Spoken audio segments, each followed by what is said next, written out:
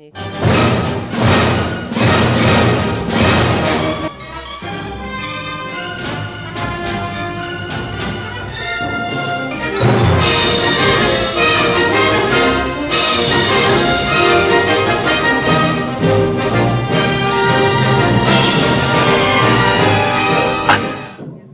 अलीगढ़ में Buenas, Juan de Espí, San Juan de Espí, buenas. Aquí estamos en un nuevo programa de Alégrame el Día con un servidor, Josep García, aquí en el 107.2 de la FM en Radio de Espí. Y hoy pues vamos a hablar una vez más de cultura en general. ¿Y hoy de qué vamos a hablar? Hoy vamos a hablar de algo tan importante pienso yo que es importante, como es eh, la influencia que ejerce la pintura o que ha ejercido la pintura a lo largo de su historia en el cine, en el cinematógrafo, puesto que eh, el cine es una arte que en principio se definió como visual, actualmente está definida como audiovisual, puesto que tiene audio y eh, luz, visión, ¿eh? Y entonces, pues, eh, es un arte en que eh, tanto la disfrutamos con la vista como con el oído, con los dos sentidos. A veces incluso se ha disfrutado con la vista, el oído y el olfato y en muchas ocasiones también con el tacto. Recordemos, por ejemplo, en estos parques de atracciones temáticos, tipo pues la la Disney o la Warner, eh, estos parques en que exhiben pues eh, películas en formato 3D y entonces pues eh, según avanza la película pues hay momentos en que en el cine pues sueltan olores o por ejemplo según qué sensaciones tienen pues te rocían con agua eh, por ejemplo, si un personaje pues escupe, igual te cae un poquito de agua. Esto es trabajar con el tacto también, ¿eh? o sea que ya no solamente es cine en 3D, sino que es mucho más, ¿no? Ya es eh, trabajar lo que he dicho, la vista, el oído, el tacto, el olfato, trabajar con todos los sentidos. Lo que pasa que esto, bueno, a nivel de pequeños cortos está muy bien, a nivel de una gran película pues ya se hace algo bastante, bastante más complicado, pero que muy complicado. Nosotros nos vamos a conformar con lo que sería pues la influencia de la pintura, como ya hemos dicho, en el cine. Eh, el cine como arte en que la imagen pues está muy presente y tiene una importancia fundamental, pues eh, siempre o casi siempre, excepto a lo mejor pues las primeras películas en que eh, los hombres no sabían bien bien eh, cómo situar la cámara aún. Bueno, sí que la situaban bien, pero quiero decir, aún no tenían idea de que aquello iba a ser un arte, sino que lo creían más bien pues como una especie de atracción de feria y poco más, una atracción de feria y poco más, o como un instrumento científico. De hecho, recordemos que los hermanos Lumière en su día se negaron a vender eh, eh, sus técnicas, su, cámara y bueno, todo su material para hacer cine. Eh, se lo negaron a Georges Méliès, que Georges Méliès pues se lo pidió, argumentando eh, según ellos, pues que a ver qué iba a hacer si el cine, en definitiva, eh, eso era pues para un tema más bien científico, que, poco más, que, que, no, o sea, que la visión que tenían no era la visión que se ha demostrado posteriormente de que ha sido un espectáculo y uno de los mayores espectáculos del mundo. De hecho, Georges Méliès, que fue un visionario, un visionario, tenemos que recordar que con ayuda también de alguna pionera, pues ya intuyó, ya intuyó que aquello era algo más que una imagen, el movimiento que estaba al servicio de la ciencia. Intuyó que podía ser una imagen, el movimiento al servicio del espectáculo. Eh, como Méliès, pues también lo intuyó Thomas Alva Edison, un hombre de, América. Eh, y bueno, eh, hay que reconocer que en este aspecto, pues por ejemplo, los americanos tienen un sentido del espectáculo en todo lo que hacen brutal, brutal.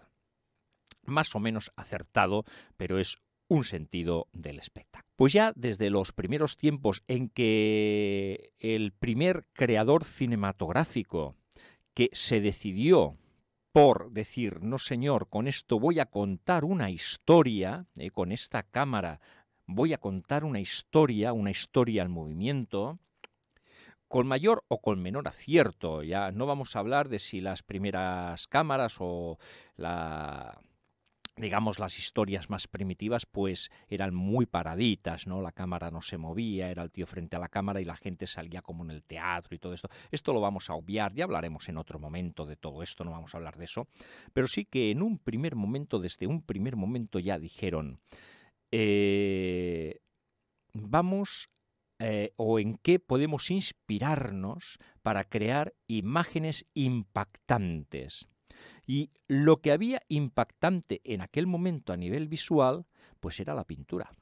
Habían pinturas que a lo largo de la historia, por lo que sea, visualmente han impactado a las personas. Y esto lo aprovecharon, o lo aprovecharon los primeros cineastas, eh, el van aprofitar, si plau, he començat en castellà, continuo en català. Demano disculpes, eh, és que sempre em vinc a dalt començo en castellà, ara continuo en català el van aprofitar els primers cineastes de dir, bueno, en què em puc basar? I van aprofitar les pintures per fer les composicions dels seus quadres, de les seves imatges en moviment. Eh?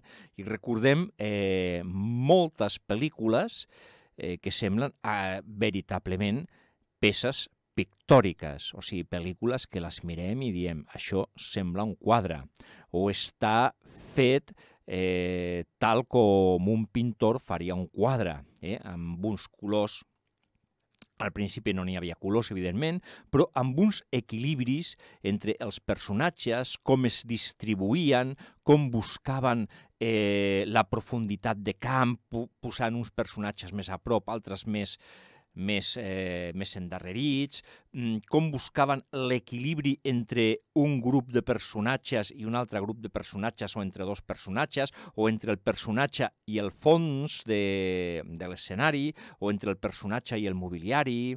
Eh, tot això, per fer tot això, es basaven en la pintura.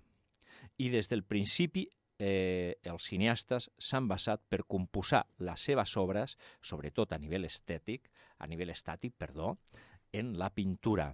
Després, eh, quan el cinema es va començar a moure, quan la càmera es va començar a moure, també es basen en la pintura, també. I avui portarem alguns exemples de grans pel·lícules en què hi ha una pintura o un estil pictòric al darrere. Eh, al principi, quan venia cap aquí, eh, pensava fer-ho en ordre cronològic. Dic, mira, començarem des de la primera pel·lícula i ho mirarem tot això en ordre cronològic. Eh? I farem, mireu, ja als anys, eh, al cinema mut, eh, aquelles pel·lícules sobre la vida de Crist, als anys eh, 10, després als 20, després tal... Eh? I, I pensava fer un ordre cronològic, però no ho faré en ordre cronològic, no ho faré pas en ordre cronològic.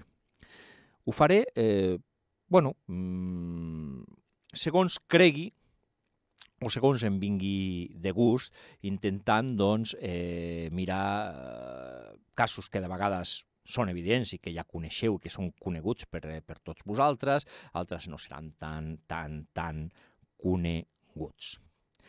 I per on començo? Doncs mira, començaré per una pel·lícula espanyola, una pel·lícula transgressora, una pel·lícula eh, de Luis Buñuel. Aquells que ah, estimeu el cinema segurament ja sabeu de quina pel·lícula parlo i de quin moment parlo i eh, els que no el coneixeu tant, o que estimeu el cinema, però potser no teniu coneixements prous perquè us esteu iniciant, que no passa res. Tothom hem començat iniciant-nos, eh? Tothom, tothom. Eh? Hem començat iniciant-nos i no coneixent actors, directors, eh, ni res. Eh? Tothom hem començat amb això, sent uns neòfits. Eh, doncs la pel·lícula eh, és Viridiana, de Luis Buñuel.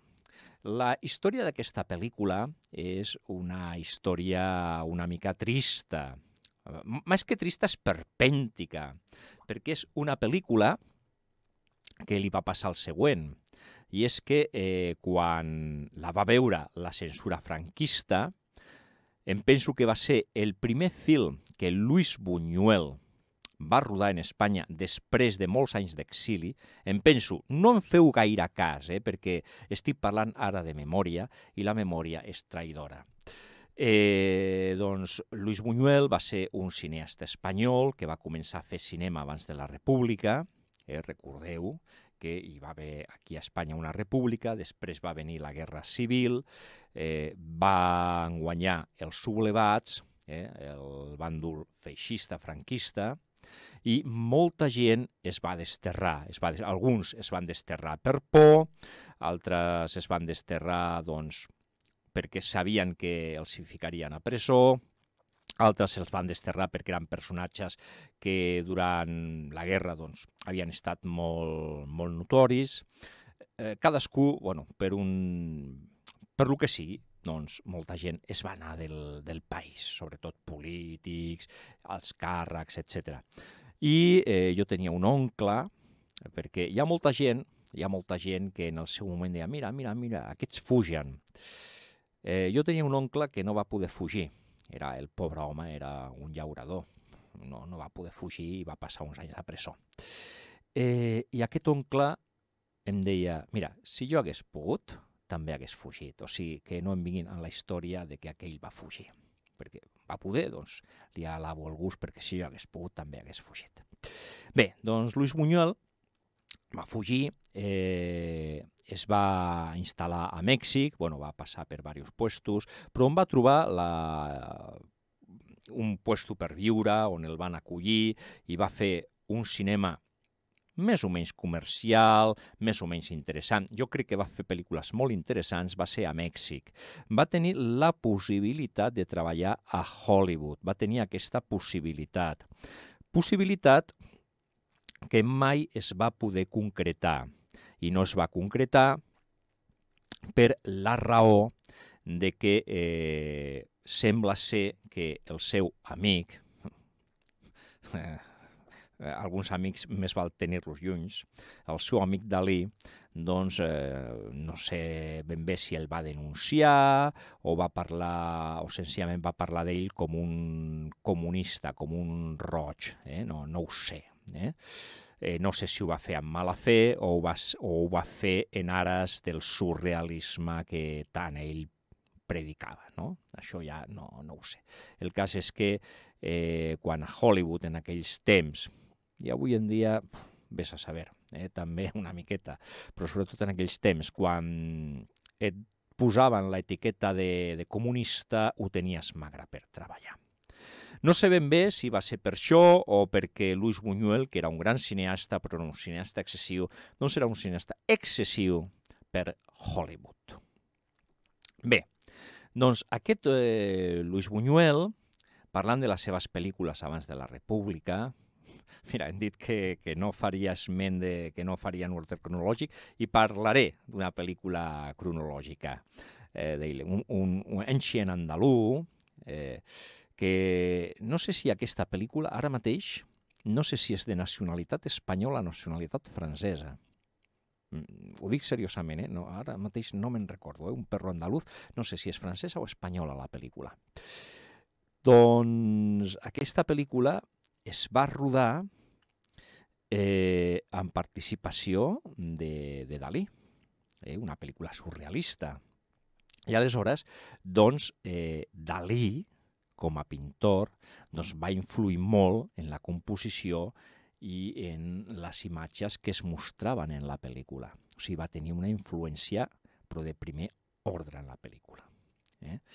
Eh, la pel·lícula la, la va signar Luis Buñuel. Bueno, va ser un escàndal. Aquesta, el, eh, el perro andaluz, i, bueno, i dos de les primeres pel·lícules que va, va filmar doncs, van ser un escàndol. Però no parlarem d'això, sinó parlarem de quan va tornar al final eh, se li va acabar l'exili, diguem, va tornar a Espanya, perquè eh, en el moment d'apertura del franquisme van poder tornar moltes persones que en el seu moment havien fugit, però que en principi no teníem el que eh, les autoritats franquistes del moment dèiem crims de guerra, o sigui, no havien assassinat a ningú, no havien participat com a gent armada en els, eh, en els, bueno, en els successos que van passar malauradament a la Guerra Civil i aleshores eh, va haver-hi gent que va poder tornar.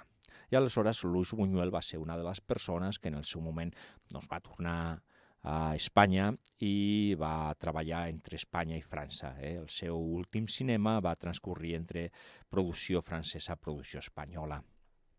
Eh, no sé si de vegades inclús coproduccions. Eh? Eh, I eh, la primera pel·lícula que va fer i ja dic, penso que és la primera pel·lícula, corregiu-me si m'equivoco, va ser Viridiana. Bé, com que era una autoritat del cinema, era una llegenda, era un, un intel·lectual, un director d'allò més increïble, doncs li van deixar fer, cap problema, i li van deixar fer. I quan la va veure el comitè de censura, Déu meu, peus perquè us vull que la pel·lícula era, eh, bueno, era, és que no, inclús eh, avui en dia es parla de com va poder passar la, la censura, no? De fet, eh, exactament els fets no va ser pel, per la censura, sinó va ser perquè des de la Santa Seu es va dir que aquesta pel·lícula era eh, poc menys querètica i respetuosa en la religió. Aleshores va ser quan va reaccionar aquí el, el franquisme, no? Ostres, que des de la Santa Seu diuen que aquesta pel·lícula és herètica i tal. I aleshores, clar, eh, van dir, aquesta pel·lícula eh, la rebutgem, no és una pel·lícula espanyola. Total, que què va passar? Que la pel·lícula va guanyar Eh, ara no en recordo quin festival, si el de Cannes o el de Venècia. Ara no me'n recordo quin festival va, va guanyar. Va guanyar un festival i vet aquí la gran, la gran, bueno, la gran astracanada, no? Diu, guanya un festival, està òrfana perquè no té nacionalitat i el govern l'està eh, rebutjant. Eh, l'escena, l'escena que va que va aixecar, bueno, que va aixecar, que va fer que el Vaticà aixequés, la Santa Seu aixequés el crit, va ser una escena en què eh, els protagonistes de la pel·lícula, els pobres, eh, doncs posen amb una taula i aleshores una senyora s'aixeca la faldilla i diu, mirad la foto! I aleshores, doncs, eh, la imatge queda com congelada i tots apareixen com en la Santa Cena de Leonardo da Vinci. Clar, una Santa Cena amb una dona que s'aixeca les faldilles i mirad la càmera que us hago la foto. Més o menys, ara no recordo si mirad la càmera que us hago... Però bueno, més o menys s'aixeca la falda. I es suposa que la càmera, no suposa, no? La càmera era eh, sálvese les partes de la senyora, o sigui, eh, eh, la parte pudent de la senyora, eh, era la, la vagina de la senyora, eh, la, la càmera, eh, i amb això una foto de la... I a més, eh, clar, eh, la Santa Cena ja de Da Vinci i tal, doncs, bueno, la Santa Seu va posar el crit en el cel. Eh? I eh, aquesta pel·lícula, eh, doncs això, va passar uns anys que, que no, tenia, no tenia nacionalitat perquè eh, Espanya, el govern espanyol, eh, la va rebutjar. I eh, és això, és un senyor, el Luis Buñuel, que havia rebut influències en el seu cinema de Salvador Dalí per la seva amistat que li va unir, als, sobretot al principi, després es va barallar amb ell amb la fera tot això de, de Hollywood. Eh, I eh, en concret, en Viridiana, doncs, en aquesta escena doncs visualitza o té present aquest quadre de Leonardo da Vinci, de la Santa Cena, eh, de la, del Sant Sopar, el Sant Sopar. Estic dient Santa Cena, del Sant Sopar. Eh, doncs el visualitza, el té present per eh, composar aquella escena mítica del cinema espanyol. No és l'única pel·lícula en què es recrea en una pel·lícula aquest moment. I ara, doncs, escoltarem un fragment de la pel·lícula Viridiana. Viridiana. ¿Le ocurre algo? ¿Quería hablarme? ¿En qué puedo servirla?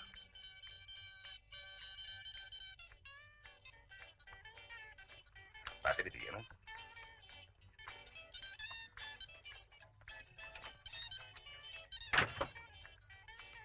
Confieso que no esperaba su visita. Estábamos jugando a las cartas. No le extraña que me divierta a mi manera. Las noches aquí son largas y uno las mata como puede. Pero siéntese. No te vayas, Ramona. Ven aquí. La señorita es muy sencilla y no le importa que te quedes. ¿Verdad que no? ¿Sabe usted jugar las cartas, primita? ¿No? Venga, siéntese. Estoy seguro que le va a gustar. Siéntese tú también, mujer. Siéntate. De noche todos los gatos son pardos.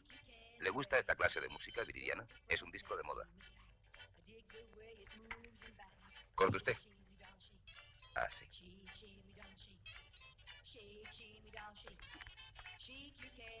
No me lo va a creer, pero la primera vez que la vi me dije, mi prima Viridiana terminará por jugar al tute conmigo.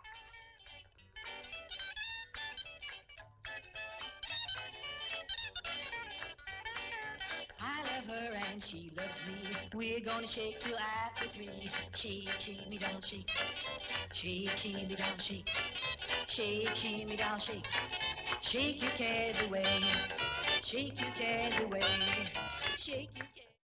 Bé, espero que us hagi agradat eh, la, la música que hem posat de la pel·lícula Viridiana de Luis Buñuel, eh, que hem comentat la seva història amb el tema pictòric.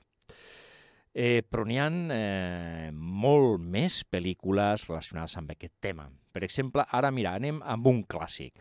Clàssic, eh, perquè a mi m'agraden els clàssics, i el clàssic del que parlaré, jo no sé si és el millor, no sé si és el millor director de cinema de la història, no ho sé, no ho sé, no. Jo a mi això de dir, aquest és el millor director, uh, aquesta és la millor pel·lícula, a mi tot això no m'agrada, perquè dius, bueno, anem a fer un top 10, un tot... Aquí deixes fora, aquí deixes fora. Eh? Aquí deixes fora. Jo, per exemple, una vegada vaig dir, vaig comentar, eh, vaig comentar eh, Steven Spielberg, que és un grandíssim director, dels millors directors, potser, dels últims temps, i dic, i per mi no estaria en el top 10 dels directors, perquè hi ha molts d'altres abans que ell. Clar, és molt agossarat això que, que vaig dir, que dic i que mantinc. Però, evidentment, que podria estar entre els, el top 10. Jo crec que no, però podria estar.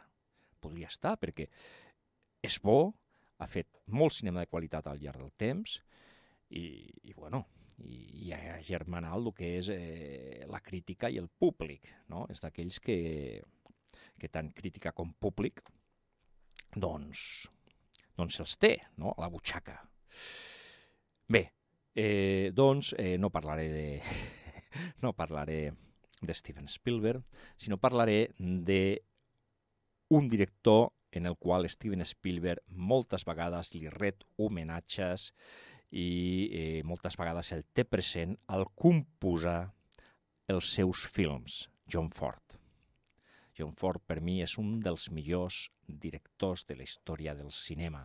No diré el millor, no diré el millor, eh, perquè ja dic, no m'atreveixo a dir aquest és el millor, perquè com pots dir aquest és el millor i deixes fora aquí? Akira Kurosawa, deixes fora Sergio Leone, deixes fora a Coppola, deixes fora a Luis Buñuel, del que m'està parlant, aquí deixes fora. Eh? per mi m'agrada molt, per mi és un dels millors, i crec que, que pot estar en un top 10, però bueno, és el meu pensament personal. John Ford. John Ford, eh, en els anys 40, va rodar una pel·lícula, She Wore a Yellow Ribbon, eh, ella llevava una cinta amarilla, eh, ella portava una cinta groga, eh, que aquí es va titular, li va canviar el títol per eh, La Legió Invencible, La Legió Invencible. Eh? Un títol molt èpic i molt... Eh? Una pel·lícula eh, sobre la cavalleria dels Estats Units. Una pel·lícula en la qual doncs els crítics, que sempre els agrada fer aquestes coses. Jo no sé si en un moment donat John Ford eh, va reconèixer que ell estava fent una trilogia. No ho sé si ell ho va declarar o ho va fer. Eh, no, no ho tinc present. Però els crítics sí que han volgut veure una trilogia amb tres pel·lícules que ell va fer, que van ser Fort Apache, mateix títol en català que... Eh, bueno, el mateix títol aquí en Espanya que, que als Estats Units, She Wore a Yellow Ribbon, als Estats Units, ella portava una cinta groga, que quan es porta una cinta groga vol dir un amor a la cavalleria. Eh, aquí es va titular La Legió Invencible i Rio Grande, mateix títol als Estats Units que aquí a l'estat espanyol. Eh? Rio Grande. Les tres sobre la cavalleria. Les tres, eh, jo penso que molt bones pel·lícules. Eh, no m'atreveria a dir quina és la millor de totes, perquè totes tenen mm, totes tenen eh, grans moments, totes tenen grans imatges, a nivell visual totes tres eh, estan superbé, Rio Grande té, té moments increïbles, potser és la més fluixeta de totes, eh, eh, inclús eh, diuen que ell no la volia rodar, Rio Grande, que si la va rodar va ser eh, com a favor o per després poder fer una altra de les seves grans pel·lícules, L'home tranquil, de Quiet Man, eh? L'home tranquil, eh, i que ell se la va prendre com un petit apunt per fer L'home tranquil. Bé, doncs la, la, legió, la legió invencible, li direm la legió invencible, de les tres és l'única que va ser feta a color. Eh, en aquesta pel·lícula, el director de fotografia va haver-hi un moment, segons diuen, que es va negar a rodar una escena perquè hi havia una tormenta i diu, no, no, no jo, jo, jo això és que no sortirà res. I va ser John Ford, hi ha moltes versions, diuen que va ser John Ford, eh, en això sembla que coincideixen totes les versions, que va obligar i va dir, no, no, es roda. I aleshores es va rodar una escena amb una tormenta de fons. Eh? Ja dic, va ser l'única que va ser en color i eh, va estar inspirada eh, tota la concepció de la pel·lícula, tot el color, eh, totes la, les escenes, tot va ser inspirat en les pintures d'en Remington. Remington, que va ser un pintor nascut a Nova York o a, un, a les proximitats de Nova York o a un barri de, de Nova York, que va morir molt jove, va morir als 48 anys eh, d'una malaltia i que eh, va retractar l'oest americà, els últims moments de l'oest americà. I va fer doncs, quadres i escultures perquè era eh, pintor, escultor, escriptor, eh? Eh, de fet, eh, era un senyor que treballava pels diaris, eh, va treballar pel, pel Randolph Hearst, eh, el, el, el, el periodista aquest, l'amo de, de no sé què, de, de, eh, d'allò de la premsa de, de, dels Estats Units, un dels magnats de la premsa, eh, va anar a Cuba a fer a fer, a fer una, bueno, a fer, a dibuixar, eh, el que ell feia, dibuixava pel, pel diari i tal, i li vam anar un, li va enviar un telegrama al, al Gers aquest, dient-li, escolta, mira, que aquí no n'hi ha res, ni hi haurà guerra, ni n'hi ha, ni hi haurà res, jo me'n torno, i dic, no, no, espera't, espera't, tu envien les pintures que jo ja crearé la guerra. Eh, és una anècdota que diuen que, que, que va que va fer el, el Hertz amb, amb aquest amb el Remington, no? de que ell ja s'encarregaria de que hi hagués guerra eh, amb les notícies o a, com o a com tractava les notícies. I, evidentment, eh, si hem de posar-nos avui en dia a mirar la premsa, eh, moltes vegades els conflictes, mm, qui els crea? Eh, jo no dic que sigui la premsa directament, però hi ha una tendència de les direccions de, dels mitjans per crear eh, opinions i per crear, bueno, eh, sí, eh, això, tendències. Eh? Eh, o sigui que moltes vegades la notícia no és tal, sinó la crea, es crea la notícia, eh, moltes vegades. En un percentatge molt alt i no vull eh, ficar-me amb els periodistes, eh? que ningú, que cap periodista se senti ofès, sisplau.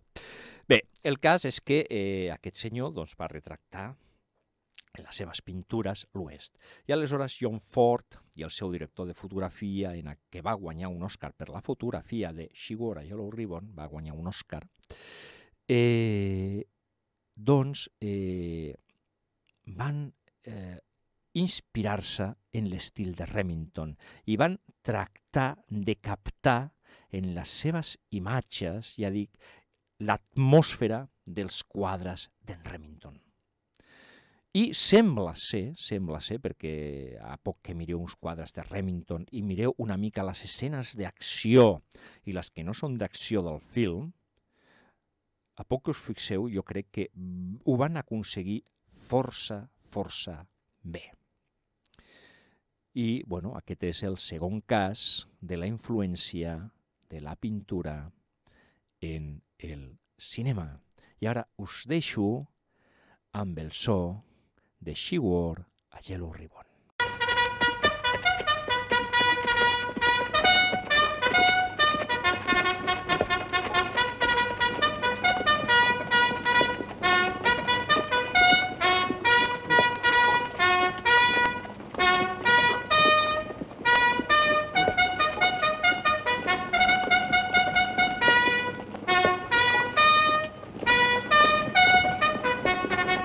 Right by toes. Yo!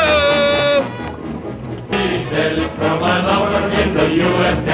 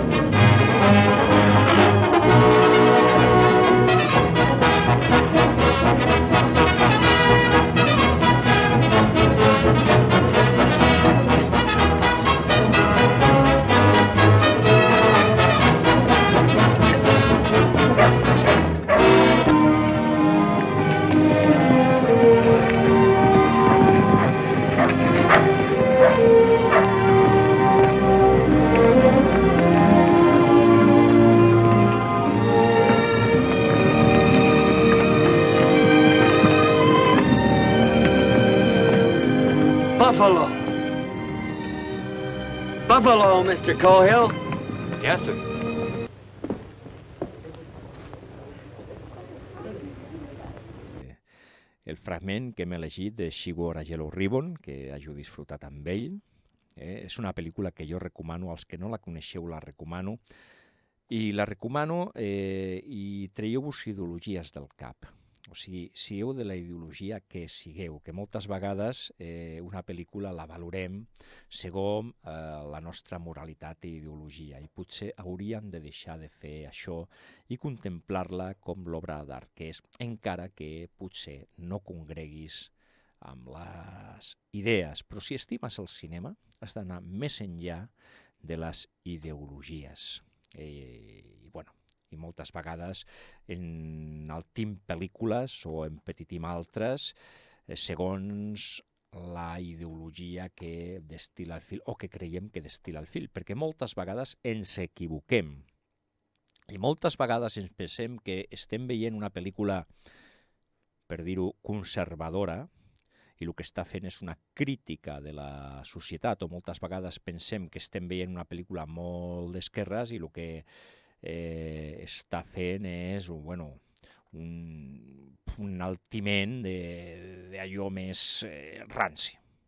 Eh? O sigui, moltes vegades hem de veure més enllà de les imatges que el cineasta ens proposa i hem de mirar petits gestos, hem de mirar eh, on fica l'atenció, hem de mirar altres coses eh, abans de, de jutjar. I a veure, i si veiem les pel·lícules per ideologia, estem descartant molt molta cinematografia interessant. Bé, eh, dit això, ara anem per Edward Hooper. Edward Hooper, gran pintor. Eh, alguns diuen que potser un dels millors eh, pintors americans, un dels millors pintors americans del segle XX, si no el millor eh, i un dels que ha tingut més influència en el cinema, i no solament en el cinema americà, sinó en tot el cinema, perquè els seus quadres han inspirat eh, multitud, no, no, no vaig a dir de fils, sinó multitud d'imatges. Eh? És eh, el senyor que va dibuixar aquell quadre de Halcones en la noche, eh? aquell quadre en què Falcons a la nit, perdó.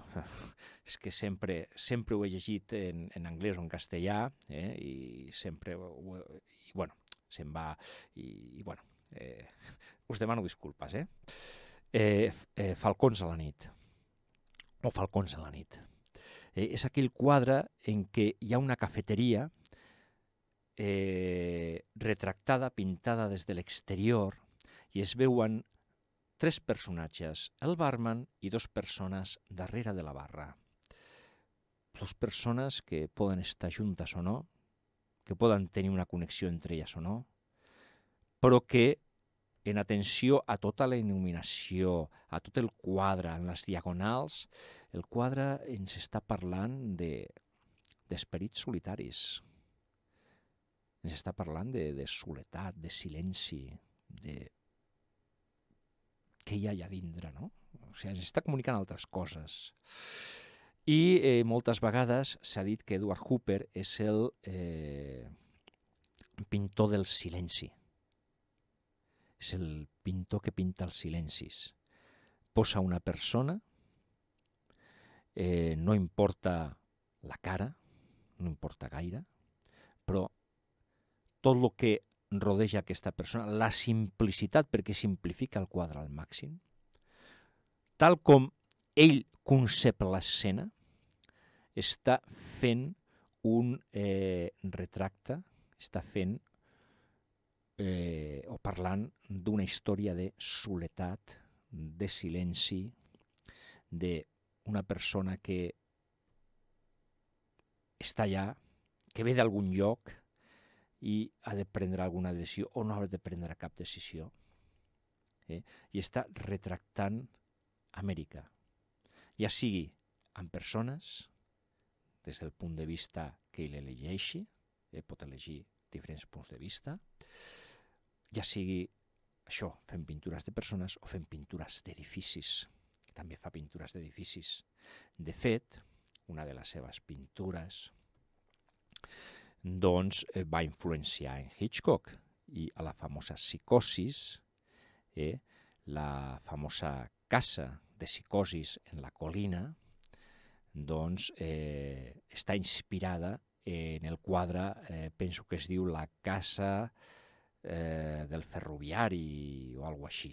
Eh, ara de memòria així tampoc d'allò, eh, però està inspirada en un quadre que, que el títol va ser La casa del ferroviari, o alguna així, ¿vale? I, eh, i és, eh, ja dic, és un dels pintors que més ha inspirat als artistes americans i no americans a l'hora de fer cinema, tant en el cinema negre, en la composició d'enquadres de, en el cinema negre, eh, com en, eh, en els melodrames, en els melodrames quan un personatge doncs, s'ha de captar tot el dramatisme i tota la soledat del personatge. De fet, hi ha una pel·lícula que és eh, Lluny del cel, Lejos del cielo, una pel·lícula meravellosa, eh, que és, eh, jo sempre he dit que aquesta pel·lícula és com una reconstrucció arqueològica en un segon sentit o amb mala llet del melodrama clàssic dels anys 50-60. Eh? Recordem aquells melodrames, eh, es deia melodrama perquè eren eh, pel·lícules en què melos, la música, melos és música, la música tenia una importància fonamental perquè en, eh, eren com òperes, eh, per dir-ho d'alguna manera, no? I la, la música tenia una importància fonamental en la trama, eh, perquè la música subratllava, eh, ja estava fet així, o sigui, et podia agradar o no, però la música subratllava la intensitat del patiment d'aquells personatges. Eh? Eh, per això es deien melodrames per la importància de la música. Eh, recordem bueno, els melodrames típics dels anys 50-60, en què la senyora vídua, vídua o, o separada, o, bueno, que, que està sola o que potser té companyia, però resulta que s'enamora del jardiner. El jardiner que moltes vegades estava interpretat per en Rock Jackson, que diu el jardiner pot dir el subordinat, eh?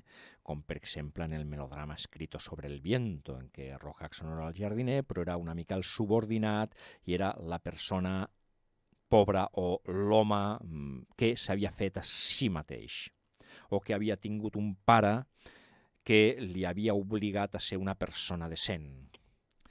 Eh, això és molt americà. El cas és que eh, bueno, eh, els melodrames eren això, era una, hi havia una diferència de classes eh, sempre en aquests amorios, no?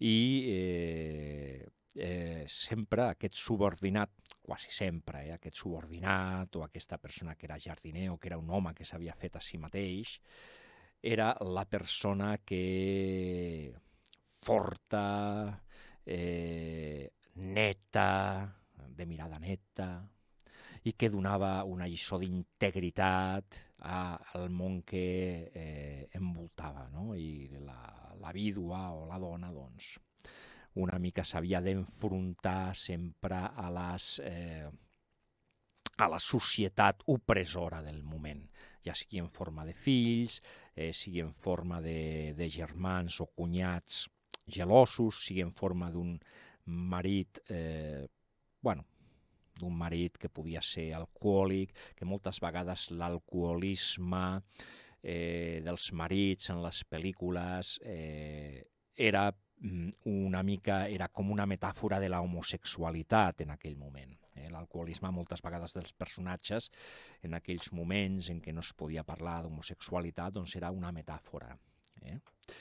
Doncs eh, aquesta pel·lícula, Lejos del cielo, una pel·lícula meravellosa.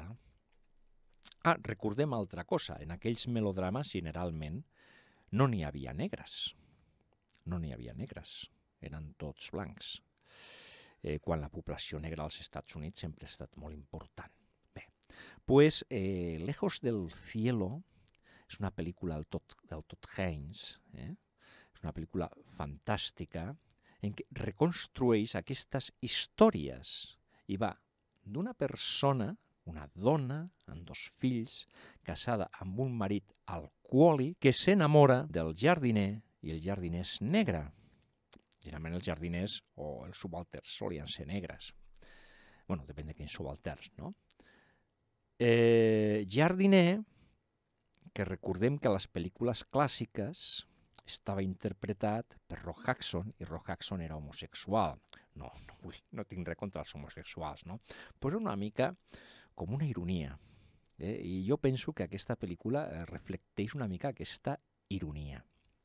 Eh? Tant en, en que en posar el jardiner negre, i aleshores, bueno, ja se salta totes les convencions perquè, a més d'enamorar-se d'un subalter, és que aquest subalter és negre. Trencament total en la societat dels anys 50. Eh? Bé, no, no, no diré més sobre aquesta pel·lícula perquè vull que, si no l'heu vist, la gaudiu. La gaudiu perquè de veritat és una meravella com recupera el sentit del melodrama dels anys 50, com recupera aquells colors amb una fotografia excepcional de, del Lutschman, eh? com recupera aquells colors tan, bueno, tan excessius dels anys 50 com els recupera, i perquè els seus artistes, tant el director com el director de fotografia, doncs han reconegut que la pel·lícula, les imatges, la manera de fotografiar, està basada, està inspirada en els quadres de l'Edward Hooper. Aquest pintor que ha inspirat i al mateix temps ell s'ha inspirat en el cinema. O sigui, és, aquí el camí és de doble retorn. Perquè ell ha inspirat a molts cineastes a enquadrar segons els seus quadres eh, i a posar els personatges més o menys d'una manera similar a com ell els col·loca en els seus quadres. Però és que, a més a més, a la seva vegada, ell s'alimenta del cinema. De fet, en unes declaracions va dir que quan no tenia res a fer, s'agafava i s'anava a veure pel·lícules i a lo millor s'estava una setmana mirant-se pel·lícules. Uf, qui pogués fer això, eh? sobretot els enamorats del cinema. Si tinguéssim aquesta sort de poder fer això, de passar-nos una setmana o el temps que volguessin mirant solament pel·lícules. Seria una meravella. Bé, aquest és un altre dels exemples de la influència de la pintura en el cinema. I ara us deixo amb un fragment de Lejos del Cielo.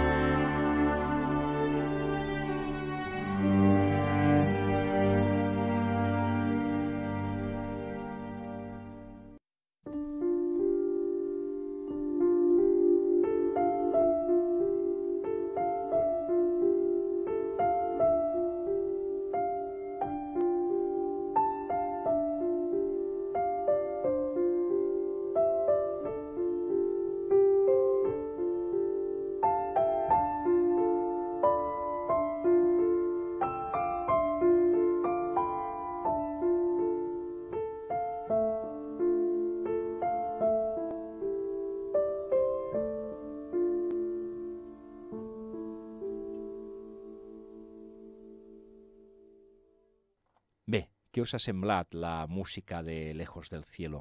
Us ha agradat? Fantàstica, no? Eh, recuperant també amb la música aquell sentit del melodrama de les pel·lícules de, dels anys 50, eh? dels anys 50-60, eh? perquè l'esplendor potser va, va ser als anys 50, però als anys 60 també es van fer uns melodrames increïbles, fantàstics. A veure, qui estima el cinema no pot deixar de mirar algun dels melodrames d'aquella època, perquè ja dic, eren una barbaritat de bons, eren una meravella. I hi ha melodrames que, que són increïbles i que et posen la pell de gallina. Eh? Escrito sobre el viento, imitació a la vida... I continuem parlant de la influència de la pintura en el cinema. Eh, no solament els pintors eh, actuals han influït a l'hora de fer composició fotogràfica en cinematografia. No sols els pintors actuals. Eh? Hem dit el cas de l'Edward Hooper, el de Dalí... Eh, Remington és una mica més antic, no gaire perquè és del segle XIX, eh, va viure una mica al segle XX poc, ja dic, va morir molt jove, als 48 anys, malauradament, perquè la veritat és que la seva pintura, les seves escultures, tenien alguna cosa, eren, eren fantàstiques, tenien alguna cosa. Eh, sinó que també moltes vegades els directors de fotografia i els directors, en definitiva, de la pel·lícula es van a mirar pintors i obres més antigues, com és el cas del fil, un fil que m'encanta, m'agrada, és una meravella. O sigui, és La jove de la perla. La jove de la perla és una història molt maca, molt ben explicada, amb molta sensibilitat, sin gaires escarafalls, però és, és que... I amb una fotografia exquisida, eh, amb una fotografia exquisida, basada en els maestros, de la, en els mestres de la pintura holandesa del segle XVII. Eh? Sobretot el mestre Vermeer. Eh? La jove de la perla. No us la perdeu. O sigui, amb una Scarlett Johansson, amb una Scarlett Johansson que se'n surt, que està que se'n surt. Bé, amics, espero que hàgiu disfrutat d'aquesta horeta i escaig, eh, escaig de, del programa de el dia. Espero que hàgiu disfrutat de debò. Eh, I res, acomiadar-me fins la setmana que ve, fins al proper dimarts i sobretot no apagueu la ràdio, eh, no desconnecteu i esteu atents perquè ara ve el següent programa aquí a Ràdio Despí 107.2 de la FM. Fins la propera, fins el proper dimarts. Us espero, Josep Garcia, a Ràdio Despí. Alegra'm el dia!